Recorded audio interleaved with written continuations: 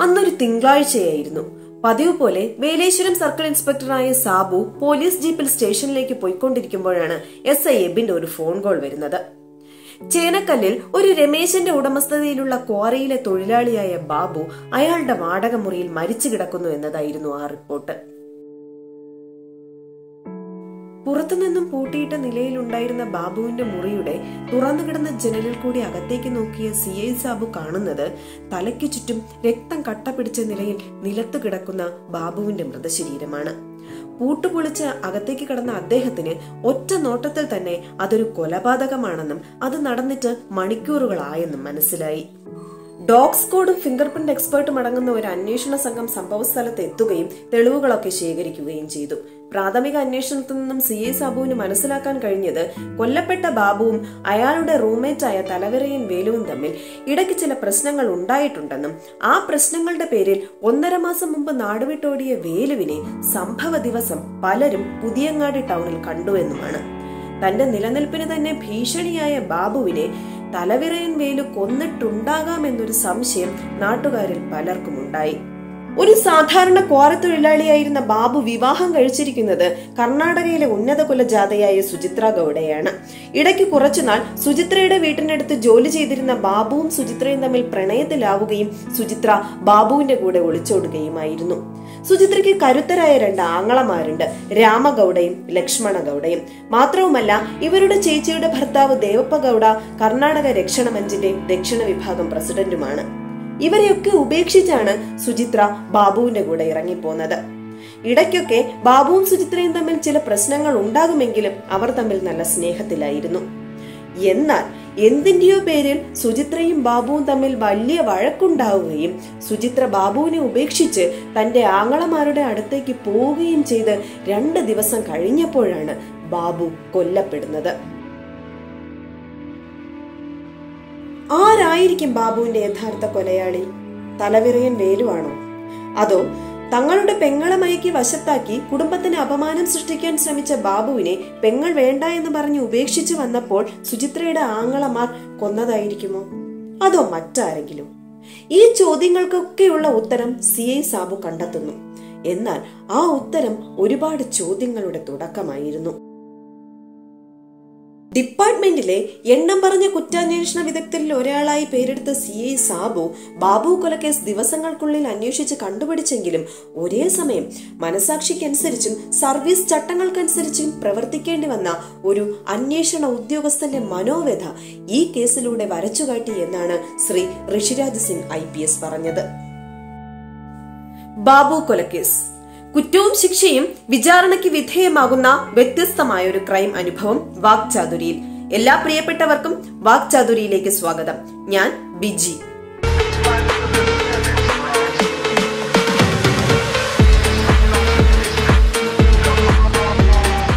സംഭവം പോലീസുകാരോട് വിളിച്ചു പറയുന്നത് ബാബുവിന്റെ തൊട്ടടുത്ത മുറിയിൽ താമസിക്കുന്ന ഗോപിയേട്ടനാണ്. ഗോപിയേട്ടൻ ഏകദേശം അറുപത് വയസ്സോളം പ്രായം വരും. അദ്ദേഹം പോലീസുകാരോട് പറഞ്ഞത് രാവിലെ ഉറക്കമുണ്ടെന്ന് നോക്കിയപ്പോൾ ബാബുവിന്റെ മുറി പുറത്തുനിന്ന് പൂട്ടിയതായും ജനൽ തുറന്നു കിടക്കുന്നതായും കണ്ടു എന്നാണ്. തുറന്നു കിടന്ന ജനൽ കൂടി അകത്തേക്ക് നോക്കിയ ഗോപിയേട്ടൻ രക്തത്തിൽ കുളിച്ചു കിടക്കുന്ന ബാബുവിനെ കാണുകയും ആകെ ഭയപ്പെടുകയും ചെയ്തു. തുടർന്ന് ഫോണിൽ പൈസ ഇല്ലാത്തതുകൊണ്ട് താഴെ രാമചന്ദ്ര റേയുടെ വീട്ടിലെത്തി അവിടെ നിന്നും കോറി മുതലാളി രമേശിനെയും പോലീസിനെയും വിളിച്ചറിയിക്കുകയാണ് ഉണ്ടായതെന്നാണ്. ബാബുവിന്റെ മരണം സ്വാഭാവികമല്ലെന്നും അതൊരു കൊലപാതകമാണെന്നും സി ഐ സാബു പറഞ്ഞപ്പോൾ തന്നെ ബാബു കൊല്ലപ്പെട്ടതാണെങ്കിൽ തീർച്ചയായും കൊലയാളി തലവിറയൻ വേലു ആയിരിക്കാമെന്ന് ഗോപിയേട്ടൻ തറപ്പിച്ചു പറഞ്ഞു. അതിന് വ്യക്തമായ ഒരു കാരണവും അദ്ദേഹം പറയുന്നുണ്ട്. ചേനക്കല്ലിലെ രമേശന്റെ ക്വാറിയിൽ ബാബു ജോലി ചെയ്യാൻ തുടങ്ങിയിട്ട് ഏകദേശം ഒരു വർഷമേ ആകുന്നുള്ളൂ. ബാബു ഇവിടെ പണിക്ക് വന്നതിന് ശേഷമാണ് തലവിറയൻ വേലു വരുന്നതും ബാബുവിന്റെ മുറിയിൽ താമസമാക്കുന്നതും. നാട്ടിലുണ്ടായിരുന്ന ബാബുവിന്റെ ഭാര്യ സുചിത്ര ചേനക്കല്ലിലേക്ക് എത്തിയപ്പോഴാണ് വേലു ബാബുവിന്റെ മുറിയിൽ നിന്നും താമസം ഗോപിയേട്ടന്റെ മുറിയിലേക്കാക്കുന്നത്. ബാബുവും സുചിത്രയും തമ്മിലുള്ള വിവാഹം കഴിഞ്ഞിട്ട് പതിനൊന്ന് വർഷമായെങ്കിലും അവർക്ക് ഇതുവരെ കുട്ടികളൊന്നുമില്ല. ആരോഗ്യവാനായ ബാബു നല്ലൊരു അധ്വാനിയും കൂടിയാണ്. ഇടയ്ക്ക് കുടിക്കുന്ന സമയത്ത് സുചിത്രയുമായി അടിപിടി ഉണ്ടാകുമെന്നത് ഒഴിച്ചാൽ അവർ തമ്മിൽ നല്ല സ്നേഹത്തിലായിരുന്നു. ഇങ്ങനെ ബാബുവും സുചിത്രയും തമ്മിൽ പ്രശ്നങ്ങൾ ഉണ്ടാകുമ്പോൾ ഗോപിയേട്ടനാണ് അവിടെ എത്തുന്നതും അവരെ അനുനയിപ്പിക്കുന്നതും. ബാബു കൊല്ലപ്പെടുന്നതിനും ഏകദേശം ഒരു മാസം മുമ്പ് ഒരു ദിവസം ബാബു വീട്ടിലില്ലാത്ത സമയത്ത് വേലു അവിടെ എത്തുകയും സുചിത്രയോട് അപമര്യാദയായി പെരുമാറുകയും ചെയ്തു. സുചിത്രയുടെ നിലവിളി കേട്ട് ഓടിയെത്തിയ ഗോപിയേട്ടനാണ് വേലുവിന്റെ കയ്യിൽ നിന്നും സുചിത്രയെ രക്ഷിക്കുന്നത്. സുചിത്രയോട് അപമര്യാദയായി പെരുമാറിയ കാര്യം ബാബു അങ്ങാനും അറിഞ്ഞാൽ തന്നെ വച്ചേക്കില്ല എന്ന് വേലുവിന് നന്നായി അറിയാമായിരുന്നത് കൊണ്ട് തന്നെയാണ് അന്ന് അയാൾ അവിടെ നിന്ന് നാടുവിട്ടുപോയത് പിന്നെ വേലുവിനെ കാണുന്നത് ബാബു കൊല്ലപ്പെടുന്ന അന്നാണ്. ബാബു കൊല്ലപ്പെടുന്നതിനും രണ്ടു മൂന്ന് ദിവസം മുമ്പാണ് സുചിത്രയും ബാബുവും തമ്മിൽ എന്തോ ഒരു കാര്യത്തിന് കാര്യം എന്താണെന്ന് ഗോപിയേട്ടനും അറിയില്ല. വലിയ വഴക്കുണ്ടാവുകയും ഇനി ബാബുവിന്റെ ഒപ്പം ജീവിക്കാൻ വയ്യ എന്നും പറഞ്ഞ് സുചിത്ര തന്റെ ആങ്ങളമാരുടെ അടുത്തേക്ക് പോകുന്നതും. എല്ലാ ഞായറാഴ്ചയും പുതിയങ്ങാടി ടൗണിലെ വൈൻ ഷോപ്പിൽ നിന്നും ഒരു കുപ്പി കള്ള് മേടിച്ച് വീട്ടിൽ കൊണ്ടുവന്ന് കുടിക്കുന്ന സ്വഭാവം ഗോപിയേട്ടൻ ഉണ്ടായിരുന്നു. ആ ഞായറാഴ്ചയും ഗോപിയേട്ടൻ വൈൻ ഷോപ്പിലേക്ക് പുറപ്പെട്ടു. പോകുന്ന വഴിയിൽ നാരായണ നായ്ക്കരുടെ പലചരക്ക് കടയിൽ വേലു നിൽപ്പുണ്ടായിരുന്നു. ഗോപിയേട്ടനെ കണ്ടതും വേലു ബാബുവിനെ പറ്റി അന്വേഷിച്ചു. ബാബു വൈൻ ഷാപ്പിലേക്ക് പോയിട്ടുണ്ടെന്നും ഉടൻ തിരിച്ചു വരുമെന്നും മറുപടി പറഞ്ഞതിന് ശേഷം ഗോപിയേട്ടൻ വൈൻ ഷോപ്പിലേക്ക് പുറപ്പെട്ടു. ഗോപിയേട്ടൻ അവിടെ എത്തിയതും ബാബു ഒരു കുപ്പിയുമായി തിരിച്ചു പോകുന്നതാണ് കണ്ടത്. വൈൻ ഷോപ്പിൽ നിന്നും ഗോപിയേട്ടൻ തിരിച്ചു വരുമ്പോൾ റോഡരികിൽ ബാബുവും വേലുവും വർത്താനം പറഞ്ഞു നിൽക്കുന്നത് കണ്ടിരുന്നു. ഗോപിയേട്ടൻ കുറച്ച് മുന്നോട്ടെത്തിയപ്പോൾ ഇവർ രണ്ടുപേരും ഒരു ഓട്ടോറിക്ഷയിൽ എത്തുകയും ഗോപിയേട്ടനോട് ഓട്ടോയിൽ കയറാൻ പറയുകയും ചെയ്തു. എന്നാൽ നടക്കാനുള്ള ദൂരമല്ലേ ഉള്ളൂ താൻ നടന്നു പോയിക്കോളാമെന്ന് പറഞ്ഞ് ഗോപിയേട്ടൻ വീട്ടിലേക്ക് പോയി. അവിടെ എത്തിയ ശേഷം ഗോപിയേട്ടന്റെ കയ്യിലുണ്ടായിരുന്ന കള്ളിന്റെ പകുതിയും കുടിച്ചിട്ട് ഗോപിയേട്ടൻ കിടന്നുറങ്ങുകയാണ്. ഗോപേട്ടൻ ഉറങ്ങാൻ പോകുന്ന സമയത്ത് ബാബുവിന്റെ മുറിയിൽ നിന്നും ബാബുവിന്റെയും വേരുവിന്റെയും ഉച്ചത്തിലുള്ള സംസാരം കേൾക്കുന്നുണ്ടായിരുന്നു എന്ന് ഗോപിയേട്ടൻ പോലീസിനോട് പറഞ്ഞു. കള്ളു കുടിച്ചുറങ്ങിപ്പോയ ഗോപിയേട്ടൻ എണീക്കുന്നത് ഏകദേശം സന്ധ്യ കഴിഞ്ഞാണ്. കട്ടിലിൽ ഇരുന്നു കൊണ്ട് തന്നെ തുറന്നു കിടന്ന ജനാല വഴി പുറത്തേക്ക് നോക്കിയപ്പോൾ ഗോപിയേട്ടൻ കാണുന്നത് ഒരു മരത്തിൽ ചാരി നിൽക്കുന്ന വേലുവിനെയാണ്. ബാബുവിന്റെ മുറിയിൽ നിന്നാണെങ്കിൽ ഒച്ചയൊന്നും കേൾക്കാനുമില്ല. കുപ്പിയിൽ ബാക്കിയുണ്ടായിരുന്ന കള്ളം കൂടി എടുത്തു കുടിച്ച് ഗോപിയേട്ടൻ വീണ്ടും കിടന്നുറങ്ങുന്നു. പിറ്റേ ദിവസം ഉണർന്നെണീക്കുമ്പോൾ കാണുന്നത് മരിച്ചു കിടക്കുന്ന ബാബുവിനെയാണ്. ഗോപിയേട്ടന്റെ മൊഴിയെടുത്തതിനു ശേഷം പോലീസുകാർ പിന്നെ ചോദ്യം ചെയ്യുന്നത് കോറി മുതലാളി രമേശിനെയും താഴെ വീട്ടിലെ രാമചന്ദ്ര റേയെയും പലചരക്ക് കട നടത്തുന്ന നാരായണ നായ്ക്കരെയുമാണ് ഇവരെല്ലാവരും കവലയിൽ സംഭവ ദിവസം വേലുവിനെ കണ്ട കാര്യം ശരിവെക്കുന്നു ഇതേ സമയം ഡോഗ് സ്കോഡും ഫിംഗർ പ്രിന്റ് എക്സ്പേർട്സും ഫോട്ടോഗ്രാഫറും ഒക്കെ എത്തി തെളിവുകൾ ശേഖരിച്ചു.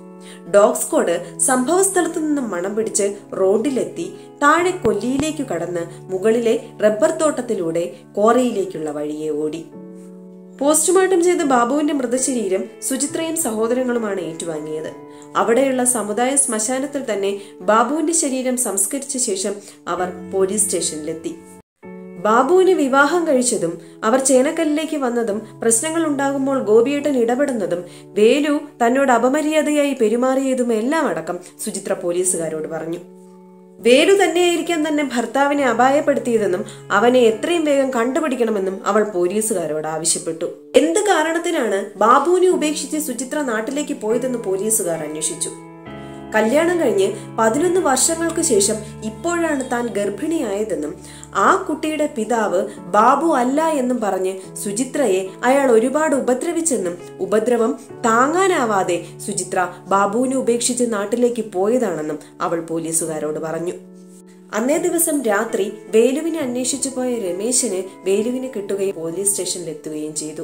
പോലീസുകാർ എത്ര തന്നെ ചോദ്യം ചെയ്തിട്ടും വേലു കുറ്റം സമ്മതിച്ചില്ല. നാരായണ നായ്ക്കരുടെ കടയിലെ പറ്റു തീർക്കാനാണ് താൻ അന്നവിടെ എത്തിയെന്നും കടയിൽ നിൽക്കുമ്പോൾ ബാബുവിനെ താൻ കണ്ടു എന്നും ബാബു തന്നെ കണ്ടില്ല എന്നുമാണ് വേലു പറഞ്ഞത്. വേലുവും ബാബുവും ഒരുമിച്ച് റിക്ഷയിൽ പോകുന്നത് കണ്ടവരുണ്ടെന്ന് സി ഐ പറഞ്ഞപ്പോൾ അങ്ങനെയൊന്നും ഉണ്ടായിട്ടില്ല എന്നും സുചിത്രയോട് അപമര്യാദയായി പെരുമാറിയ കാര്യം ബാബു എങ്ങാനും അറിഞ്ഞിട്ടുണ്ടെങ്കിൽ തന്നെ നേർക്കുനേർ കണ്ടാൽ എന്തായാലും കൊന്നു കളയുമെന്നുള്ള പേടിയുള്ളത് കൊണ്ട് ബാബു ദൂരെ നിന്നും വരുന്നത് കണ്ടപ്പോൾ തന്നെ നായ്ക്കരുടെ പീടികയിൽ നിന്നും വേലു മാറിപ്പോയി എന്നും പോലീസുകാരോട് അയാൾ പറയുന്നു. പിറ്റേ ദിവസം സി ഐ സാബുവും എസ് ഐ എബിനും കുറച്ച് പോലീസുകാരും ചേർന്ന് റിക്ഷ സ്റ്റാൻഡിൽ ഒരു അന്വേഷണം നടത്തി. ഞായറാഴ്ച ബാബുവിന്റെ വീട്ടിലേക്ക് ഓട്ടം പോയത് റഷീദിന്റെ ഓട്ടോയാണെന്ന് അവർക്ക് അറിയാൻ കഴിഞ്ഞു. റഷീദിനെ ചോദ്യം ചെയ്തപ്പോൾ ഓട്ടോയിൽ ബാബു മാത്രമാണ് ഉണ്ടായിരുന്നതെന്ന് അയാൾ തറപ്പിച്ചു പറഞ്ഞു.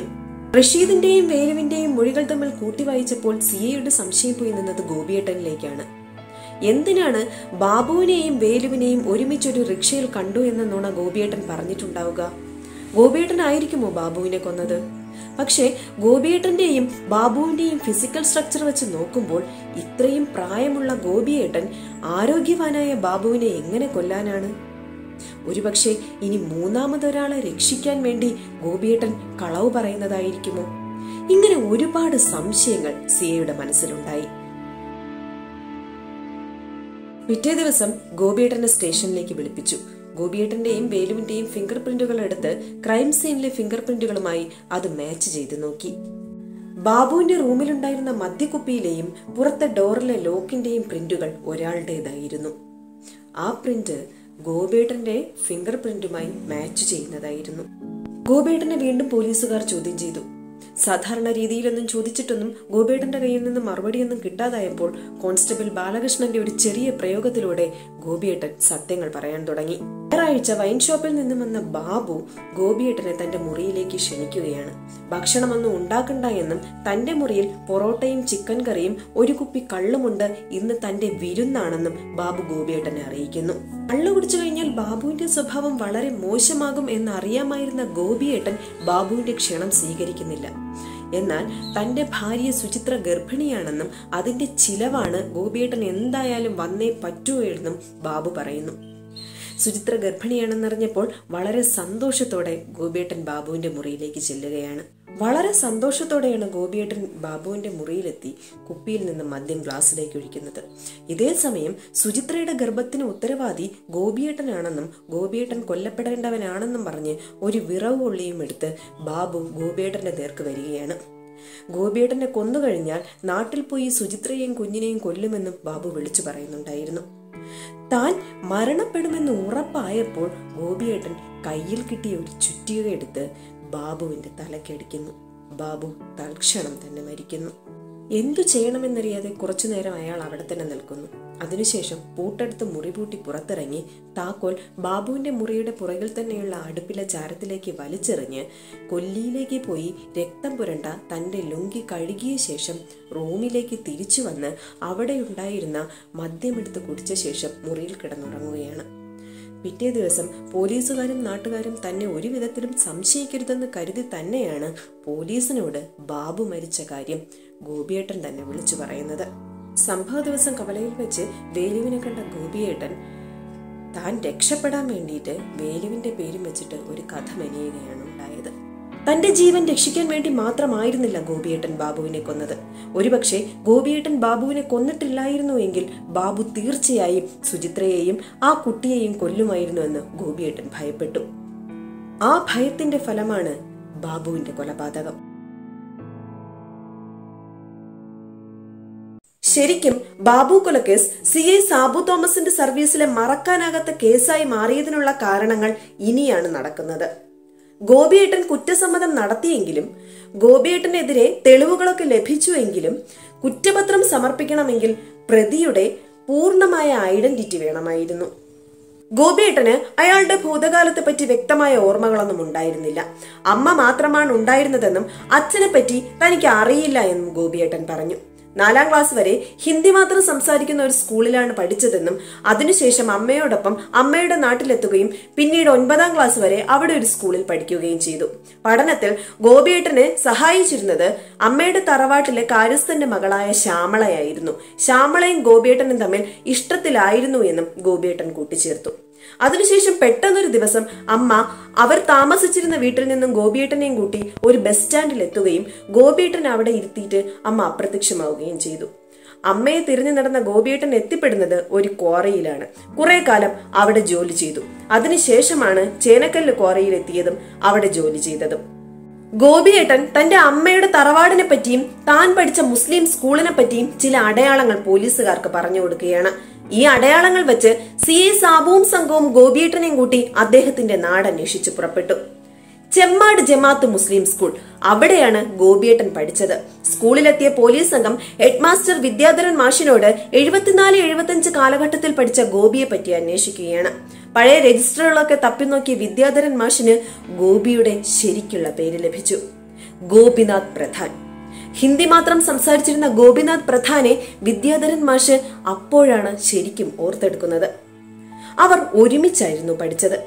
പഴയ സുഹൃത്തിനെ കണ്ടതും ഗോപിയേട്ടൻ വിദ്യാജി എന്ന് പറഞ്ഞ് ഓടി വരികയായിരുന്നു. ഗോപിയേട്ടനെ പറ്റി അതായത് ഗോപിയേട്ടന്റെ അച്ഛനെയും അമ്മയും തറവാട്ടിനെയും പറ്റി കൂടുതൽ അറിയാൻ തന്റെ അച്ഛന് സാധിക്കുമെന്നും പറഞ്ഞ് വിദ്യാധരൻ മാഷ് ഗോപിയേട്ടനെയും പോലീസ് സംഘത്തെയും കൂട്ടി അദ്ദേഹത്തിന്റെ വീട്ടിലേക്ക് പുറപ്പെട്ടു. സെൻട്രൽ ഇന്റലിജൻസിൽ നിന്നും റിട്ടയർഡായ വ്യക്തിയായിരുന്നു വിദ്യാധരൻ മാഷിന്റെ അച്ഛൻ ശ്രീ വേലായുധൻ അടിയോടി സാർ. അദ്ദേഹം ഗോപിനാഥ് പ്രധാന്റെ യഥാർത്ഥ കഥ പറയാൻ തുടങ്ങി. അത് വല്ലാത്തൊരു കഥയായിരുന്നു. ആ നാട്ടിൽ നിന്നും ഭോപ്പാൽ റീജിയണൽ എഞ്ചിനീയറിംഗ് കോളേജിലേക്ക് അഡ്മിഷൻ എടുത്ത ആദ്യ പെൺകുട്ടിയായിരുന്നു ബ്രില്യൻ സ്റ്റുഡന്റായ പാർവതി നമ്പ്യാർ. ഗോപിയേട്ടന്റെ അമ്മ. അന്നവിടെ പാർവതി നമ്പ്യാരുടെ സീനിയറായി പഠിച്ചിരുന്ന മഹേഷ് പ്രധാനുമായി പാർവതി റിലേഷൻഷിപ്പിലാവുകയും അവർക്കൊരു കുഞ്ഞുണ്ടാവുകയും ചെയ്യുന്നു. ഗോപിനാഥ് പ്രധാൻ. വേലായുധൻ സാർ ഭോപ്പാലിൽ ഉണ്ടായിരുന്ന സമയത്ത് പാർവതി വഴിയാണ് മഹേഷ് പ്രധാനെ പരിചയപ്പെടുന്നത്. അദ്ദേഹം അവരെ പരിചയപ്പെടുമ്പോൾ തന്നെ അവർക്കൊരു കുഞ്ഞുണ്ടായിരുന്നു. പാർവതി പ്രഗ്നന്റ് ആണെന്ന് അറിഞ്ഞ സമയത്ത് നാട്ടിൽ നിന്നും അച്ഛനും ആങ്ങളെയും എത്തുകയും പാർവതിയെ പ്രധാനമായിട്ടുള്ള ബന്ധം ഉപേക്ഷിച്ച് തിരിച്ച് നാട്ടിലേക്ക് വരാനും നിർബന്ധിക്കുന്നു. പക്ഷേ പാർവതി പോയില്ല.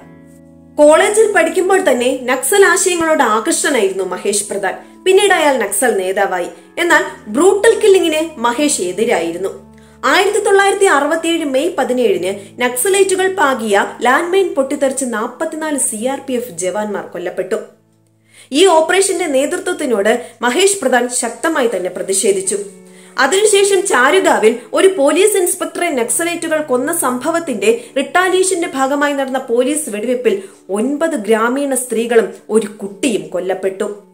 ആ സംഭവത്തിന് ശേഷം മഹേഷ് പ്രധാൻ തന്റെ നിലപാടുകളിൽ മാറ്റം വരുത്തുകയും നക്സൽ ഓപ്പറേഷനുകളെ കുറിച്ചുള്ള വിവരങ്ങൾ സുഹൃത്തും സെൻട്രൽ ഇന്റലിജൻസ് ഉദ്യോഗസ്ഥനുമായ വേലായുധൻ അടിയോടിക്ക് കൈമാറാൻ തുടങ്ങുകയും ചെയ്തു. തുടർച്ചയായ മിലിറ്ററി ഓപ്പറേഷനുകൾ നക്സലൈറ്റുകളെ ചിന്തിപ്പിച്ചു. മഹേഷ് പ്രധാൻ സംശയത്തിന്റെ നിഴലിലായി.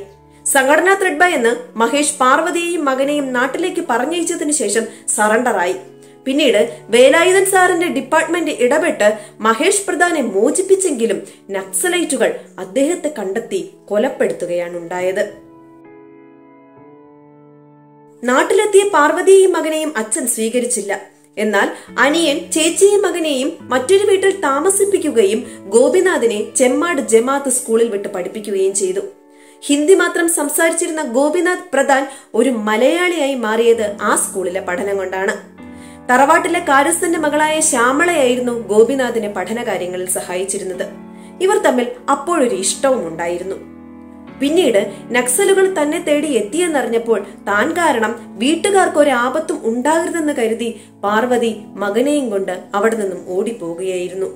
ബസ് സ്റ്റാൻഡ് വരെ എത്തിയ പാർവതിക്ക് മനസ്സിലായി നക്സലുകൾ തന്നെ പിന്തുടരുന്നുണ്ടെന്ന്. അപ്പോൾ മകന്റെ ജീവനെങ്കിലും രക്ഷപ്പെട്ടോട്ടെ എന്ന് കരുതി അവർ മകനെ അവിടെ ഉപേക്ഷിച്ച് നക്സലുകൾക്ക് പിടികൊടുക്കുകയായിരുന്നു. ബാബു കൊലക്കേസിലെ പ്രതിയാണ് ഗോപിനാഥ് എന്ന സി എ സാബു പറയുമ്പോൾ അത് വിദ്യാധരൻ മാഷിനും വേലായുധൻ സാറിനും വലിയൊരു ഷോക്കായിരുന്നു. അവരെ കൊണ്ട് ചെയ്യാൻ പറ്റുന്ന സഹായങ്ങൾ എന്തായാലും ഗോപിക്ക് വേണ്ടി ചെയ്യുമെന്ന് അവർ വാക്കുകൊടുത്തു. അതിനുശേഷം അവർ പോയത് ഗോപിയേട്ടന്റെ തറവാട്ടിലേക്കായിരുന്നു. വന്നത് പാർവതിയുടെ മകൻ ഗോപിയാണെന്നറിഞ്ഞപ്പോൾ പാർവതി നമ്പിയാരുടെ ചേച്ചിക്കും അനിയൻ ശങ്കുണ്ടി നമ്പ്യാർക്കും ഉണ്ടായ സന്തോഷം വളരെ വലുതായിരുന്നു. വീടും പറമ്പും ഗോപിയുടെ പേരിലാണെന്നും ഇനി അതൊക്കെ നോക്കി നടത്തേണ്ടത് ഗോപിയാണെന്നും അവർ അത്യാഹ്ലാദത്തോടെ പറഞ്ഞു. ശ്യാമളയും ആ സമയം അവിടെ എത്തുകയാണ്. ഈ കാലം അത്രയും വേറൊരു വിവാഹം കഴിക്കാതെ ഗോപിയേട്ടനെ പ്രണയിച്ച് എന്നെങ്കിലും ഗോപി തിരിച്ചു വരുമെന്നുള്ള പ്രതീക്ഷയിൽ അവർ കാത്തിരിക്കുകയായിരുന്നു. ഈ കാര്യം അറിഞ്ഞപ്പോൾ ഗോപിയേട്ടൻ ആകെ വികാരഭരിതനായി.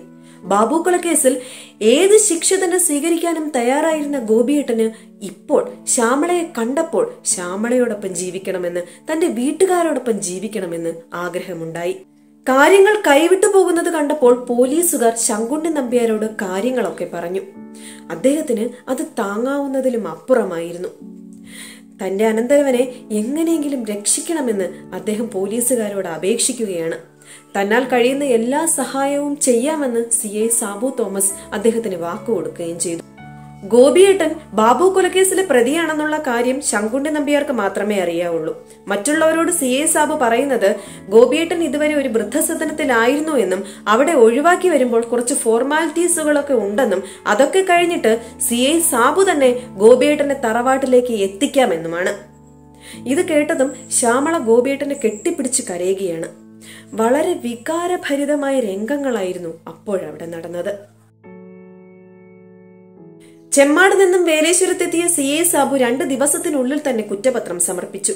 കോടതിയിൽ ഗോപിയേട്ടന് വേണ്ടി ഹാജരായത് ഹൈക്കോടതി അഡ്വക്കേറ്റ് ശങ്കരൻ നമ്പ്യാരാണ്. അദ്ദേഹം ശക്തമായി തന്നെ ഗോപിയേട്ടന് വേണ്ടി വാദിച്ചു. ബാബുവിന്റെ ഭാര്യ സുചിത്ര അടക്കം എല്ലാവരും ഗോപിയേട്ടൻ ഒരിക്കലും ഒരു കൊലപാതകം ചെയ്യില്ല എന്ന് തന്നെ പറഞ്ഞു. ഗോപിനാഥ് പ്രധാൻ ഈ കേസിൽ നിന്നും രക്ഷപ്പെടുമെന്ന് സി ഐ സാബുവിന് നൂറ് ശതമാനം ഉറപ്പായിരുന്നു. ഒരേ സമയം അയാൾക്ക് സന്തോഷവും സങ്കടവും കൊടുത്ത ഒരു കേസായിരുന്നു ഇത്. ഗോപിനാഥ് പ്രധാൻ കേസിൽ നിന്നും രക്ഷപ്പെടും എന്ന സന്തോഷം ഒരു വശത്ത് മറുവശത്ത് ബെസ്റ്റ് ഇൻവെസ്റ്റിഗേറ്റർ എന്ന ഇമേജ് തകർന്നടിയുമോ എന്നൊരു ദുഃഖവും. എന്നാൽ ഒരു നല്ല കാര്യത്തിന് വേണ്ടി താനൊരു പരിഹാസ കഥാപാത്രമാകുന്നതിൽ വിഷമമില്ല എന്ന് സി ഐ സാബു സ്വയം സമാധാനിച്ചു. അങ്ങനെ ബാബു കൊലക്കേസിന്റെ വിധി പ്രഖ്യാപിക്കുന്ന ദിവസം വന്നു. സാക്ഷികളൊക്കെ ഗോപിയേട്ടന് അനുകൂലമായിരുന്നെങ്കിലും കോടതി ഗോപിനാഥ് പ്രധാനെ കുറ്റക്കാരനായി കണ്ടെത്തി. സാക്ഷികളൊക്കെ ഗോപിനാഥിന് അനുകൂലമായിരുന്നെങ്കിലും തെളിവുകളെല്ലാം അയാൾക്കെതിരായിരുന്നു.